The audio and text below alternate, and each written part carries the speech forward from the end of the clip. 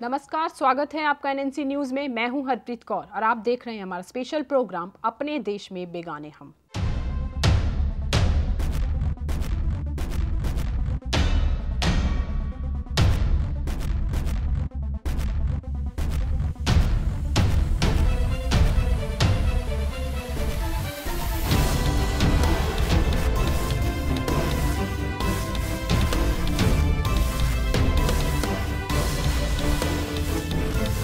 Government को हाथ जोड़ते हैं। मजबूर हमें मुसलमान कहना पड़ता है। भाई हमारे को अपना करो अपना करो। मर जाएँगे वापस नहीं जाएँगे।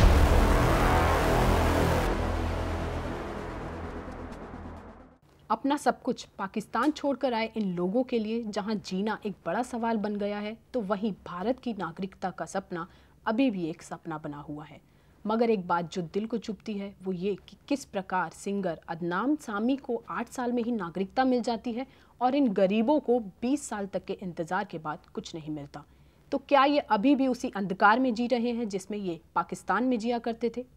चलिए ले चलते हैं सीधा आपको छतरपुर, हमारे संवाददाता राजेश कुमार के पास, जो इस वक्त उन तमाम हिंदुओं के बीच मौजूद हैं जो भारत की नागरिकता की आशाएँ पाल रखे हैं। 1947 में जब इस देश ने आज़ादी प्राप्त की थी तो देश का दो भागों में बंटवारा हुआ था। मोहम्मद अली जिन्ना ने पाकिस्तान को बनाया था तो महात्मा गांधी ने भारत को बनाया था। धर्म के आधार पर दो देशों का बंटवारा हुआ था और मोहम्मद अली जिन्ना ने कहा था कि जब तक पाकिस्तान में जो हिंदू रह रहे हैं, जब तक वो वहाँ पे सुरक्षित हैं, इसका मतलब भारत में जो है मुसलमान सुरक्षित हैं। लेकिन हकीकत, मोहम्मद अली जिन्ना की बात कुछ और निकल के आई। अब हालात ये हो चुके हैं कि आज़ादी के समय जो हिंदुओं की आबादी पाकिस्तान में 15 प्रतिशत थी, वो घटकर दो प्रतिशत हो चुकी है। बड़ा सवाल यही है कि ये तेरह प्रतिशत जो हिंदू थे, वो कहाँ गए? ये सब हम आज जानेंगे इनसे। ये तमाम लोग हमारे साथ बैठे हुए हैं। किसी को आए हुए तीस साल हो चुके हैं, किसी को आए हुए पंद्रह साल हो चुके हैं, और कोई ढाई महीने पहले आया है, कोई पाँच महीने पहले आया है, लेकिन इन लोगों को नागरिकता नहीं मिली है। बात करेंगे इनसे। तमाम इनके सवाल हैं। उनके जो सवाल जो हैं, हम सरकार तक पहुंचाएँगे। फिर देखते हैं सरकार उन पर क्या कार्रवाई करती है। चलिए हम देखते हैं पहले सवाल हम इनसे जानेंगे। सर, सबसे पहले सवाल जो है, मैं आपसे ही जानना चाहूँगा कि आप भारत आए, कितना समय हो गया आपको भारत में आए हुए? भाई, हमारे को सात साल हो चुके हैं, आठवां साल जनवरी में होगा। ये छोटे छोटे बच्चे लेकर आया था। अभी हमारे पास वहाँ ना ज़मीन है, ना कुछ भी नहीं है, सिर्फ़ रिश्तेदारी के सिवा हमारा कुछ भी नहीं है।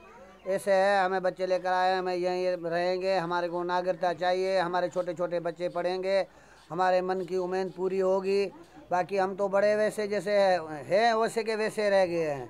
अभी दिल्ली के सिवा बाहर कहीं काम पे नहीं जा सरकार सकते हैं। सरकार की तरफ़ से आप आए हैं। हमें सरकार में उम्मीद करते हैं तो सरकार हमारी मदद करेगी और हमें क्यों बाकी क्या कह सकते हैं? हमें तो बड़े आदमी तक नहीं पहुँच सकते हैं। हमारे वहाँ पे हैं बहुत सारे और यहाँ पे आए हैं बच्चों को सुधारने के लिए और मुसलमान वहाँ पे भी कुछ अच्छे भी हैं। कुछ बुरे भी हैं। आप लोगों को क्या घर से बाहर निकलना मिलता था वहाँ पे? नहीं हम वहाँ पे नहीं बाहर निकलते थे। अगर यहाँ पे भी आए तो यहाँ पे भी कोई सुविधा नहीं मिल रही है। बहुत परेशान है यहाँ पे भी। सर मैं आपसे जानना चाहूँगा अगर भारत सरकार कड़वा सवाल है भारत सरकार अगर आपको नागरिकता नहीं देती है तो क्या आप वापस पाकिस्तान जाने के लिए तैयार हैं? कैसे जाएँगे पाकिस्तान वहाँ तो धर्म बचा के यहाँ आए हैं और वापस कैसे जाएँगे? अगर आपको नागरिकता नहीं देती है अगर नहीं देती है फिर क्या करेंगे आप? फिर भी यहाँ पे ठहरेंगे फिर वापस नहीं जाएँगे। जब कोई अपना घर छोड़ता है चाहे वो परिंदा हो चाहे इंसान हो वो वापस उसमें शाम ढलने से पहले जाना चाहता है। अगर ये लोग वापस नहीं गए हैं और ना जाना चाहते हैं तो इसका मतलब कहीं ना कहीं वहाँ के हालात जो हैं बहुत बहुत ज़्यादा बदतर थे बहुत इनके लिए मुश्किल था। हमारी समस्या यही है भाई काफ़ी सालों मेरी उम्र सत्तर साल है। हाँ जी। तो हम कभी कई सालों से हाँ जी। आने के लिए यहाँ से वहाँ बहुत दिक्कत है। तो हमारे जो लोग हैं उनको कुछ नहीं समझते। जो मुसलमान हमारे लिए जाए तो उनकी है। हाँ जी। जो हमारा कोई भी उठा जाए तो उनको मार देते हैं। मार देते हैं। हम तो 18 साल हो गए इधर आए को। हाँ जी। तो बात अठारह साल पहले क्या हालात थे? वहाँ पे आप क्यों छोड़ के आए? कितना मुश्किल होता था आपके लिए वहाँ पे रहना? तो बाहर जा नहीं सकते अकेले घूम नहीं सकते। क्यों नहीं जा सकते वहाँ पे? ऐसा क्या है? जा सकते पाकिस्तान में नहीं है। माहौल के हिसाब से कोई बाहर नहीं निकल सकता है। ऐसे ही घूमना फिरना अकेला। तो आप लोगों ने वहाँ पे पढ़ाई शिक्षा स्कूल मदरसा कहीं नहीं जाते थे? नहीं कुछ नहीं। आप लोग अपने धर्म तो धर्म को तो मानते होंगे वहाँ पे? मानते पूजा पाठ करने की तो छूट थी? हाँ, पूजा पाठ अपने घर में कर सकते बाहर किसी को पता तो बाहर कोई चाय भी पीने नहीं देता कप अलग कर देता। हाँ वहाँ तो पाकिस्तान छोड़ के वहाँ आए वहाँ भाई था हमारा वहाँ मार दिया उन्होंने। अच्छा आपके भाई को वहाँ पे मार दिया? क्यों मारा आपके भाई को? वहाँ सब सारे मुसलमान हैं। बस तो हिंदू को देखते हैं भाई तो अच्छा खमीज पहन लेते हैं हाँ यहाँ कोई इसको लेते हैं तो कोई से सहता नहीं भाई ये हिंदू हैं। अच्छा। तो इसी वजह से वो तो मार दिया फिर तो हम तो मतलब आप हिंदू हैं इस वजह से मार दिया आपको? हिंदू हैं भाई जो कोई वहाँ सुनाई नहीं है। जुल्मों का और कहानियों का और दर्दों का सिलसिला यहीं ख़त्म नहीं हो जाता कई और सी चीज़ें हैं जो अक्सर बाद में बाहर निकल के आती हैं। एक यहाँ पे हमारे साथ सज्जन मौजूद हैं जिन्होंने एक ऐसी बात कही कि मुझे दोबारा कैमरा जो है ऑन करना पड़ा। और वो मैं चाहूँगा कि वो बात आप लोगों के सामने भी रख सकूँ। सर बताइए मुझे कि किस प्रकार जो है वहाँ पे धर्म परिवर्तन करा के हिंदुओं को मुसलमान बनाया जाता है? भाई, बात यह है, वहाँ हिंदुओं को कोई ये ऐसा नहीं है जो मतलब आदमी तो समझते ही नहीं है। एक परवेज़ मुशरफ के दौर में हमारा लड़का फ़ौज में उठाया था। अब उसी दौर में उठाया था, वो कुछ चलते फिरते खाने पीने के शिकायत से, किसी भी शिकायत से उसी को मुसलमान कर दिया। अब जब शिकायत चली तो वो बोलते हैं, अपना खुशी से हो जाता है। हमारे को क्या ज़रूरत है दूसरे के धर्म में जाने की?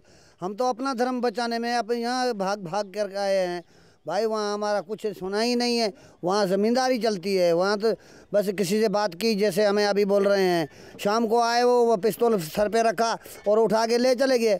इसके वजह से हमारे लोग नहीं बोल सकते हैं। यहाँ भी तो वही डर है तो भाई, कि पता नहीं क्या होगा। हमें कमाते हैं, मुसलमान खाते हैं, सीधी बात है। और हमारे को तो भाई यही समझ में आया जब यहाँ चले आए हैं। अभी हमें गवर्नमेंट को मिन्थ करते हैं गवर्नमेंट को हाथ जोड़ते हैं। भाई हमारे को अपना करो मर जाएँगे वापस नहीं जाएँगे। मर जाएँगे लेकिन वापस। वापस नहीं जाएँगे। शादी ब्याह हिंदू वालों की तो कोई मान्यता प्राप्त नहीं है। शादी कर भी देते हैं उनकी नज़र में नहीं है। इस्लाम कबूल करो शादी कबूल है। वैसे कोई शादी नहीं होती। हिंदू का इतना बुरा हाल है कि कहीं चले जाओ। पानी का गिलास तक नहीं मिलता। पाकिस्तान तो पूरा पाकिस्तान ही है ना। पाकिस्तान तो एंट्री से बाहर तो नहीं जा सकते ना। वहाँ पे मुसलमान की कदर है। मुसलमान हो तो सब कुछ है। हिंदू का कोई धर्म नहीं है, कोई मान्यता नहीं, कुछ भी नहीं। लास्ट में इतना होटल में जाता है, पानी पीने के लिए, वहाँ भी पूछा जाता है, हिंदू हो या मुसलमान। फिर मजबूर हमें मुसलमान कहना पड़ता है। क्या करें? पानी बिना तो मर जाएँगे ना। ये मजबूरियाँ हैं। हमारे चाचा हैं, भाई हैं, भतीजे, नानी, मामा, सब हैं, इतनी बातें होती हैं उनसे। और ये भी कहते हैं, लाचारी में हमें इस्लाम कबूल करना पड़ रहा है और करना पड़ेगा। क्या करें? यहाँ तक पहुँच नहीं सकते, आप यहाँ तक आ नहीं सकते। आखिर ऐसी क्या गलती कर दी है इन लोगों ने कि इनकी आवाज़ सुनने वाला कोई नहीं है? इनके दर्द को बयां तो नहीं किया जा सकता, पर जो परेशानियाँ हो रही हैं और जो तमाम उम्मीदें इन नेताओं से ये लगाते हैं, उन सवालों के जवाब मांगे जा सकते हैं। देखते हैं लोगों की परेशानियों को लेकर क्षेत्र के विधायक। करतार सिंह का क्या कहना है? पाकिस्तानी जो हिंदू आए हुए हैं एक अच्छी जीवन की खोज में। आप जानते हैं उनके बारे में? कहाँ जी बिल्कुल। हमारे यहाँ पे कुछ लोग संजय कॉलोनी में हैं और वहाँ पर आकर कोई अपने रिश्तेदार के यहाँ पर रह रहे हैं कोई किसी शेल्टर में कोई किसी तरह से अपना जीवन यापन वहाँ पे कर रहे हैं। कुछ लोग आए हुए हैं। तो उनकी कोई वीज़ा और पासपोर्ट की समस्या वगैरह आती हो तो कैसे हैंडल करते हैं देखिए ये सरकार का विषय है केंद्र सरकार का और सरकार की पॉलिसी के तहत ही वो आई हैं। वो आए हैं बॉर्डर से आई हैं सरकार के द्वारा आई गई हैं। तो सरकार उनका कुछ समय होता है उसके बाद सारी सुविधाएँ उनको देती है। बाकी यहाँ पर रह रहे हैं रहने के साथ उनको शिक्षा स्वास्थ्य पानी हर सुविधा उनको दिल्ली सरकार यहाँ पे प्रोवाइड। तो उनको जो सुविधा दे दी जा रही है ये क्या मतलब आम आदमी पार्टी दे रही है केंद्र सरकार की तरफ़ से? नहीं देखिए जो ये सुविधाएँ हैं पीने का पानी है वहाँ पर सड़कें हैं वहाँ पर उनके लिए स्वास्थ्य के लिए डिस्पेंसरी वो सबके लिए हैं। उनके लिए कोई अलग से नहीं है। वो भी उसी जनता के साथ रह रहे हैं। तो ये तो दिल्ली सरकार दे रही है सारी सुविधाएँ तो दिल्ली सरकार की तरफ़ से दी गई है। जी तो आपको क्या लगता है कि जो लोग आए हैं अगर उनको नागरिकता दे देनी चाहिए क्योंकि भाजपा सरकार की तरफ़ से एक आया है कि इनको बैंक कार्ड आधार कार्ड और ये मिलना चाहिए तो क्या इनको नागरिकता दे देनी चाहिए या वापस पाकिस्तान भेज देना चाहिए? देखिए जब ये क्योंकि मसला ये उठता है कि अभी तो पाकिस्तान की में 35 लाख हिंदू और हैं। अगर वो इसी तरह आते रहे तो फिर ऐसा लगता आपको कि प्रभाव पड़ेगा हमारे पे? ये सरकार की पॉलिसी है। मैं उस बारे में इतना नहीं कह पाऊँगा। सरकार क्या पॉलिसी टाइम टू टाइम बनाती है? लेकिन ये मेरा कहना है कि जब सरकार की पॉलिसी के तहत वो यहाँ आए हैं सरकार की मंजूरी से आए हैं तो उनको सारी सुविधाएँ मिल जानी चाहिए जो यहाँ आ चुकी हैं। बाकी सरकार आगे केंद्र सरकार पॉलिसी बनाती है ये हमारा विषय नहीं है। सरकार आगे के लिए क्या पॉलिसी बनाएगी ये? देखिए सरकार जानती सरकार पॉलिसी बनाती है केंद्र सरकार पॉलिसी बना रही है लेकिन वो कहीं ना कहीं आपके विधायक के क्षेत्र में रह रहे हैं क्षेत्र में रह रहे हैं तो अगर कुछ ऊंच नीच होती है अप लेवल होता है तो कहीं ना कहीं आप पे भी जवाब यह आएगी उसके ये विधायक जनता का सेवक है। जो जनता क्षेत्र में रह रही है, उसके लिए सुविधाएँ मुहैया कराना, उसके लिए 24 घंटे तैयार खड़े रहना, हर क्षेत्र में उनकी सहायता करना, विकास कराना, ये विधायक का काम है। अब सरकार अगर किसी योजना के तहत कोई पॉलिसी बनाकर इस तरह से लोगों को अगर यहाँ पे अलाउड करती है तो उसमें विधायक को उसमें कुछ नहीं कहना। जो लोग आएँगे, उनके लिए सारी सुविधाएँ देंगे। नहीं, वहाँ पे जो लोग हैं, उनसे हमारी बात हुई तो उनका कहना है कि एक रोज़गार और दूसरी शिक्षा। उनके लिए एक बहुत बड़ी समस्या है। तो क्योंकि वो आपके एरिया में आ रहे हैं इस वक्त तो मैं जानना चाहूँगा कि आप किस प्रकार उनकी हेल्प कर रहे हैं? देखिए, जहाँ तक शिक्षा की बात है, शिक्षा में तो आपने देखा है कि दिल्ली सरकार सबसे ज़्यादा बजट ही शिक्षा पर खर्च कर रही है। तो अगर वो संजय कॉलोनी की आप बात करें तो वहाँ पर हमारा ऑलरेडी ट्वेल्थ तक का स्कूल चालू चालू है, चल रहा है। और वहाँ पर कुछ कमी, कमरों की पड़ी है। तो वहाँ पर साढ़े आठ करोड़ की लागत से हमने स्कूल का टेंडर करा दिया है और बहुत जल्दी शुरू होने वाले हैं। और छतरपुर विधानसभा में करीब हमारे सात से आठ स्कूलों में काम शुरू हो चुका है नई बिल्डिंग बनने का। ये थे हमारे साथ आम आदमी पार्टी के विधायक करतार सिंह जी, जिन्होंने एक अपने जो यहाँ के विधायिका के लोग हैं, उनके अच्छे भविष्य के लिए, उनके शिक्षा हो, चाहे स्वास्थ्य हो, चाहे इस वक्त दिल्ली में जो पानी की कमी जूझ रही है, उसके प्लान उस किस प्रकार उस समस्या से निपटारा करने जा रहे हैं, उससे हमें अवगत करवाया। धन्यवाद सर आपका हमारे प्रोग्राम में आने के लिए। शुक्रिया रिंकल कुमारी के धर्म परिवर्तन की घटना कोई अकेली घटना नहीं थी। ऐसी वारदातें वहाँ हर रोज होती थी। हिंदू धर्म की बच्चियों के साथ ज़बरदस्ती निकाह तो वहाँ का रिवाज बन चुका है। मगर ताज्जुब इस बात का है कि ना तो वहाँ की सरकार कुछ कर पा रही है और ना ही प्रशासन। मगर वहाँ से जान बचाकर भारत आए इन लोगों का जीवन किन किन परेशानियों से गुजर रहा है, वो आप खुद देख लीजिए। मजनू का टीला से हमारी इस रिपोर्ट में। उन्नीस सौ सैंतालीस में जब देश का विभाजन हुआ तो ये लोग पाकिस्तान में जा बसे। लेकिन इन्हें, इन्होंने कभी ऐसा नहीं सोचा होगा कि इनकी ज़िंदगी में एक ऐसा पल आएगा, जब इन्हें अत्याचारों को सहना पड़ेगा। इन्हीं अत्याचारों को सहने के बावजूद इन्होंने वहाँ मुल्क में रहकर तमाम तरीके की परेशानियों को झेला। और आज ये मजबूरन होकर यहाँ पर भारत में आ पहुँचे हैं। इस वक्त हम मौजूद हैं दिल्ली के छतरपुर इलाके में। उन लोगों के साथ जो पाकिस्तानी हिंदू के नाम से जाने जाते हैं। इनसे जानेंगे आखिर क्या कारण रहे इनके यहाँ आने के। आप कहाँ से हैं पाकिस्तान से? पाकिस्तान सिंध हैदराबाद से अब पहला मुझे ये बताइए कि जब कोई यहाँ का भारतीय आपको पाकिस्तानी हिंदू के नाम से बुलाता है तो आपको कैसा लगता है? हिंदू के नाम से तो हम तो हमारा दिल तो खुश होते हैं भाई हिंदू पाकिस्तानी तो हिंदू कहकर जब बुलाता है तो कैसा तो लगता दिल में ऐसे हमारे को इतनी आती है भाई हमारे को पाकिस्तानी हिंदू क्यों कहला जाता है? हम तो हम तो बंटवारा मांगा ही नहीं। पाकिस्तान है पाकिस्तान में रहकर हमने बंटवारा मांगा ही नहीं। हम तो हिंदू है हम तो भारत के नागरिक हैं हम। उन्नीस सौ सैंतालीस से हम नागरिकता है हमारे यहाँ की। हम तो हमारे को सिटीजनशिप यहाँ के है ही है वो उसी टाइम से सिटीजनशिप हमारी है। दूसरी बात कुछ नहीं आती है हमारे को। एक तो ये मच्छर खा गए हमारे को। मच्छर खा गए बहुत बच्चे छोटे छोटे बुखार जो मर गए हैं मच्छर खा के। ये बात आती है बात दूसरी बात नहीं आती है हमारे पाकिस्तानी हमें कहते ही हमें दिल में बड़ा दुख और दर्द की कहानी पहल पिछली याद आ जाती है। लेकिन हम ये चाहते हैं, हमें पाकिस्तानी मत कहिए, जितने भी भारतवासी हैं, हम यही कहना चाहते हैं, हम भारत के ही एक टुकड़े से अलग हो गए थे कुछ समय के, सैंतालीस के पहले। तो अभी हम यहाँ अपने देश में आ गए हैं तो हमें भारत ही कही जाए।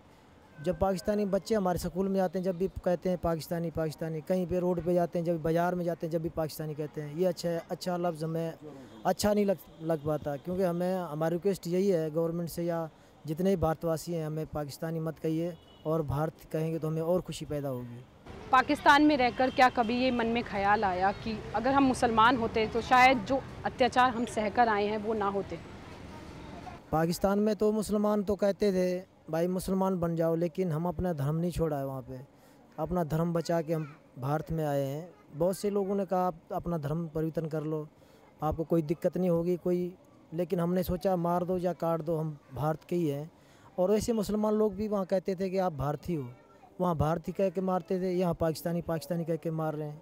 ये बहुत मतलब हमें दुख होता है। यही परेशानी थी वहाँ पे, हिंदुओं की इज़्ज़त नहीं थी वहाँ पे। तेलीम नहीं था वहाँ पे बच्चों का, हिंदुओं की इज़्ज़त नहीं थी। वहाँ पे हिंदुओं की तो बिल्कुल इज़्ज़त नहीं थी वहाँ पे। हम वहाँ पे कोई धर्म नहीं था वहाँ पे। वहाँ पे कोई दिवाली, होली नहीं खेलते थे। वहाँ पे तो पूरा ज़िंदगी तो डर ही डर था यहाँ पे अब डर नहीं है। वहाँ पे तो डर ही डर था वहाँ पे कुछ नहीं था यहाँ पे थोड़ा सा सांस भरा है। लाइट की बहुत समस्या है। दिन को गर्मी है रात को भी गर्मी है मच्छर बहुत है। हम तो दो तीन साल के बोल बोल के कुछ नहीं हमारे को सहायता कुछ नहीं हो रही। और हमको कुछ नहीं राशन वासन नहीं चाहिए। भगवान ने हिम्मत दिया है कमा के खाएँगे। कमा के खा लेंगे हमको ना गिरदा चाहिए बस। चाहिए। सरकार की मेहरबानी यही तो चाहिए हमको बिजली चाहिए ना गिरदा चाहिए। वो ठेला चलाने लड़के जाते हैं वो छीन के पुलिस वाले ले जाते हैं। अब हम बच्चे कहाँ से खाएँ? रोज़गार तो छीन के ले जाते हैं कहाँ से खाएँ? बहुत परेशानी है दिक्कत बहुत है। तो जैसा कि आपने देखा कि समस्याएँ बहुत हैं यहाँ भारत में आने के बावजूद जो ये सपने यहाँ पर लेकर आए थे वो पूरे होते नहीं दिखाई दे रहे। कौन कौन सी क्लास में हो? तो स्कूल स्कूल में मैम कैसे अटेंडेंस लेती है? बोलिए। हाजिरी कैसे होती है स्कूल में? राधा कह के? नाम लेके बुलाती हैं या पाकिस्तानी बच्चे कह के बुलाती हैं? नाम। लेती हैं।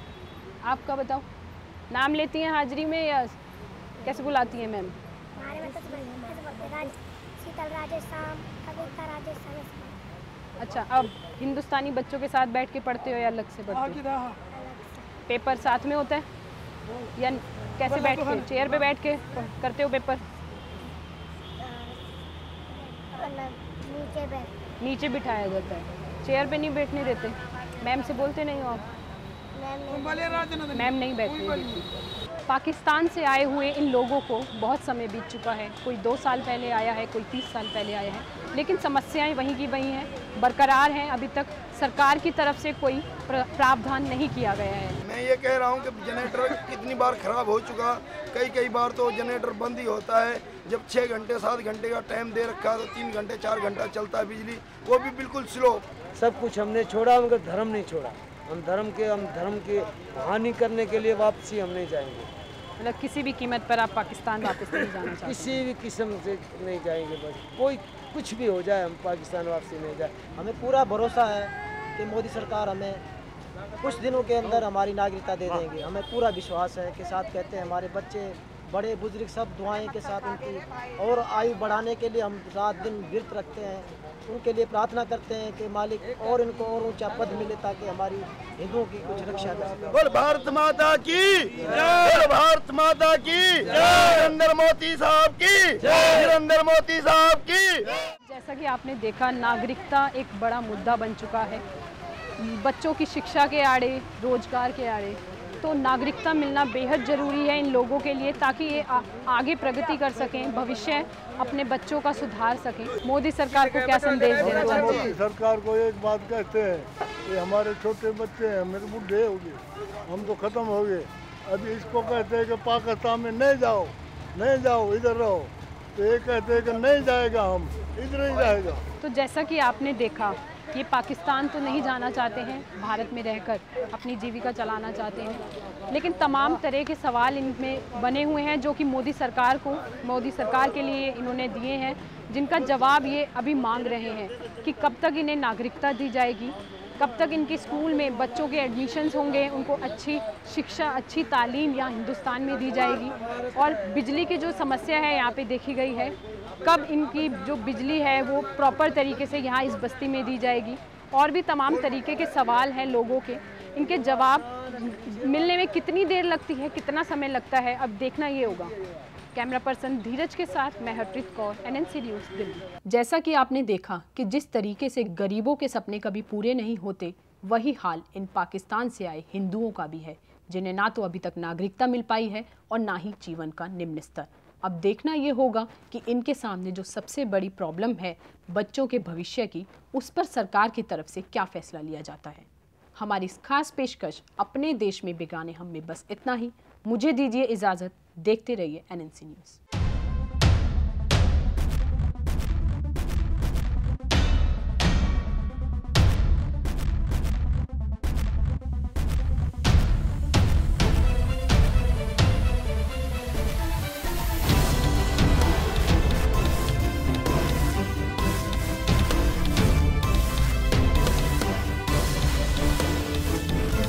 गवर्नमेंट को हाथ जोड़ते हैं। मजबूर हमें मुसलमान कहना पड़ता है। भाई हमारे को अपना करो अपना करो। मर जाएँगे वापस नहीं जाएँगे।